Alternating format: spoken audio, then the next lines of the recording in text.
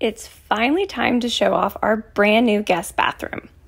We worked hard for several weeks getting this space ready. We started with a boring brown bathroom and created a bold, colorful bathroom that I absolutely love.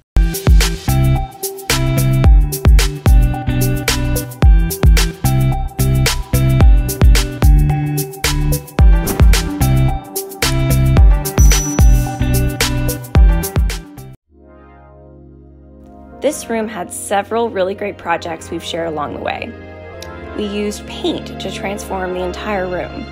We showed you how to paint a bathtub, how to paint shower tile, how to paint the bathroom vanity, and I did a really cool faux marble countertop, uh, how to paint tile floor, and my favorite, which was installing the bathroom wallpaper.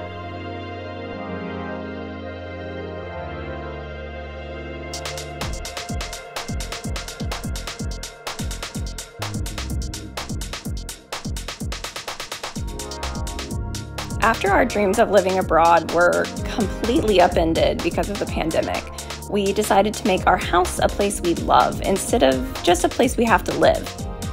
We started with this boring brown bathroom neither of us ever really liked, and now I have the bold and colorful bathroom I've always wanted.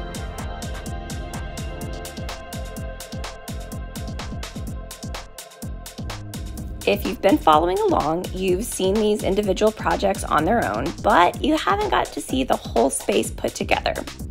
If you haven't seen all the projects, I've got a playlist for you with all of the tutorials. And if you haven't subscribed, be sure to hit that subscribe button before you leave.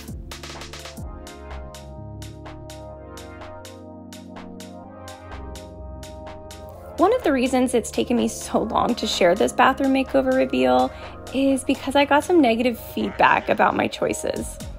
I have a hard time with criticism, and those few negative responses affected me way more than all of the positive feedback I got. It's something I'm working on.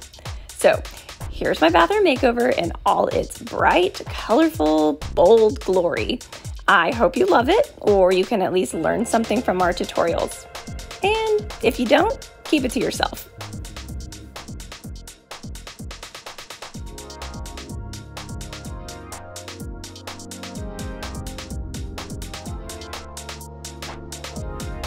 All of the sources for these projects, as well as any of the fixtures you see, are linked for you in my blog post. That is in the description of this video. I hope this bathroom makeover and all of our projects inspire you to tackle an unloved space in your home. It's amazing what a little paint can do to transform a room. Thanks for watching. I'll see you in my next video.